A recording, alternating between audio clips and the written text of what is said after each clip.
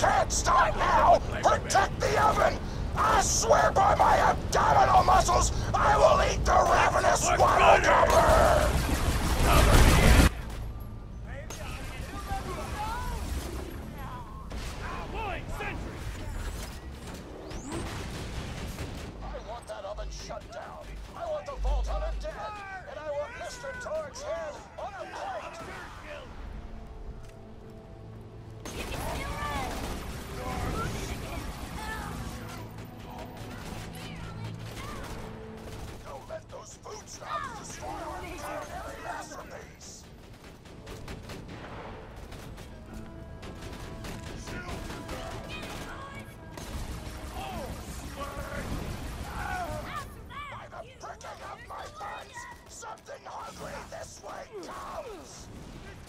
Shakespeare!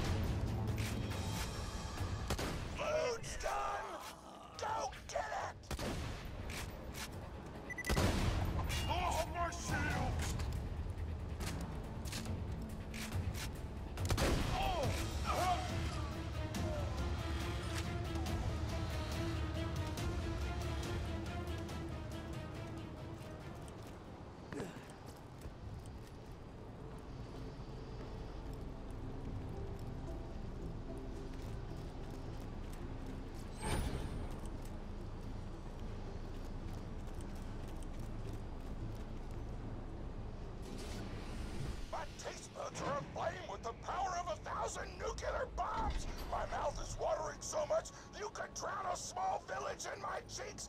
The taste apocalypse is upon us!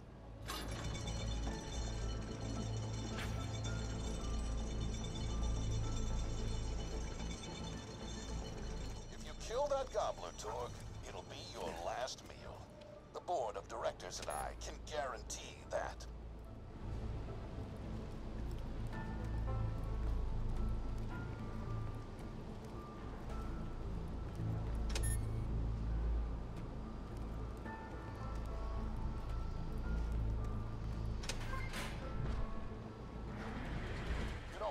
We made the Gobbler invincible, Torgue?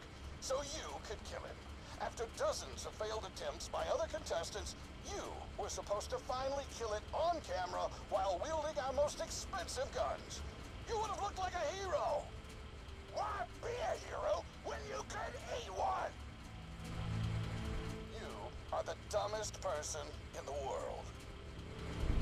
I paid several other contestants to kill you if the Gobbler can't, Vault Hunter.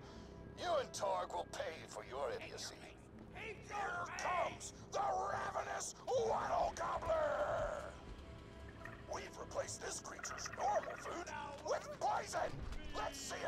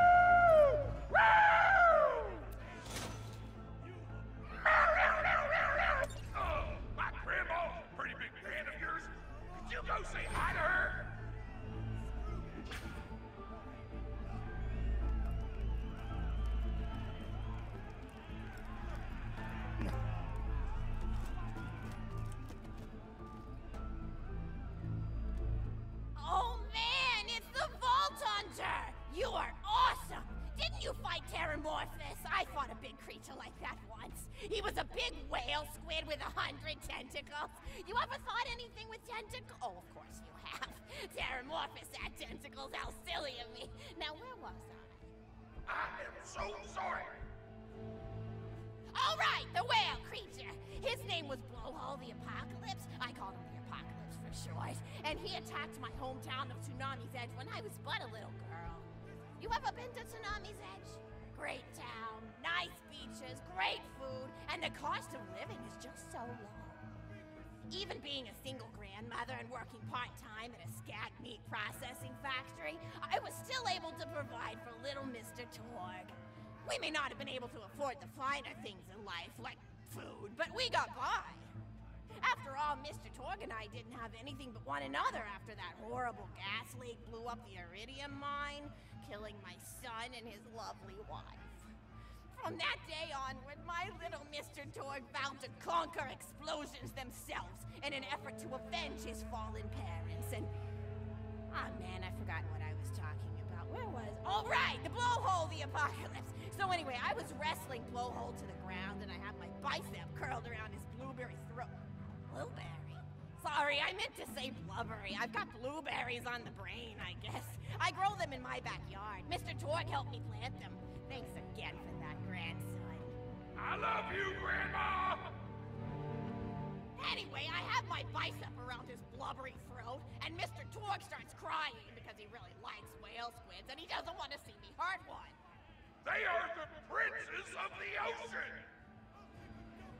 So I let the whale go after giving it a punch in the eyeball so he'll remember me, and it swam away into the ocean. And then I had Mr. Torgue drive me to the ice cream parlor. He got me Rocky Road, because Rocky Road's my favorite. I'm extremely partial to the way the marshmallows act like little landmines of flavor amidst the battleground of chocolate. What's your favorite flavor of ice cream? Is it pistachio? I bet it's pistachio. Oh, that reminds me! You'll never guess who I saw today! Pistachio the Amazing! He's a magician who studied under Crazy Earl, so he's got that weird mustache, you know. But I saw him make a Rakk Hive disappear. A whole Rakk Hive! I said to Mr. Torgue, I said, Mr. Torgue, wasn't that amazing? And he said, yes, it was, Grandma. Didn't you say that high five? You remember saying that? I remember, Grandma. And we stood in line afterward.